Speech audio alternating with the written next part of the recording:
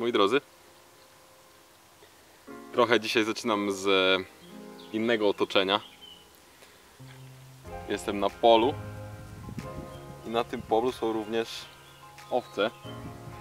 No i napotkałem taką sytuację, dosyć ciekawą. Em, mianowicie, to jest owca mama, która stoi przy ogrodzeniu. I za tym ogrodzeniem tam jest mała owieczka, która w jakiś durny sposób, niezrozumiały, dostała się za to ogrodzenie. Jak widzicie, jest ogrodzenie.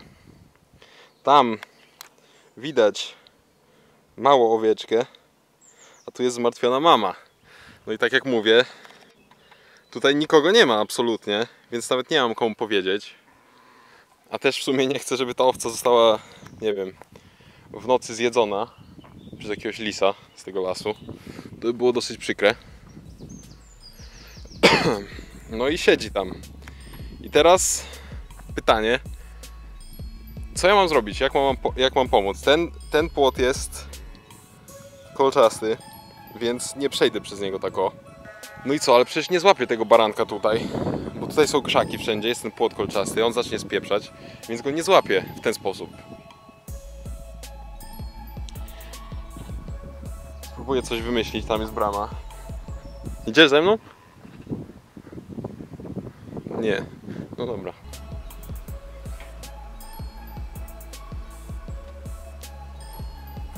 E, owieczki są tam. Tam trochę dalej jest ta brama otwarta. Gdzieś tam. Więc muszę je, muszę je stąd przepłoszyć tam. Przynajmniej trochę. I powiem wam, możecie powiedzieć, że to nie ma związku z fitnessem. Natomiast ma, bo można się przy tym trochę zmęczyć. O, dobra. Idź w tamtą stronę. Bardzo dobrze. No spokojnie. Ja tylko wam pomagam. Tam, tam, tam. Nie wiem, gdzie ta mała owieczka teraz jest.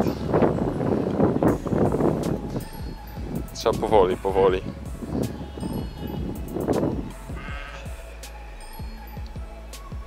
Mała jest? Jest tam, siedzi, dobra, widzę ją. No, no, no, już prawie. No, no, no. Jej. Jej. Jej. Udało się. Uff. Szczerze mówiąc myślałem, że ta duża tam wejdzie i to bym już miał w ogóle przerąbane. No to się udało. Gratulacje. Teraz trzeba zamknąć tą bramę. Co za misja.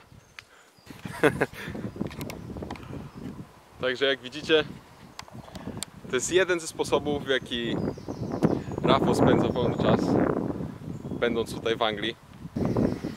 Randomowa przygoda, która mnie spotkała. No i teraz co? Teraz idę zwiedzać dalej. Mam nadzieję, że nic podobnego już mnie nie spotka. Myślałem, że będzie trudniej. Myślałem, że będę musiał przez ten płot coś kombinować, ale wystarczy trochę pomyśleć.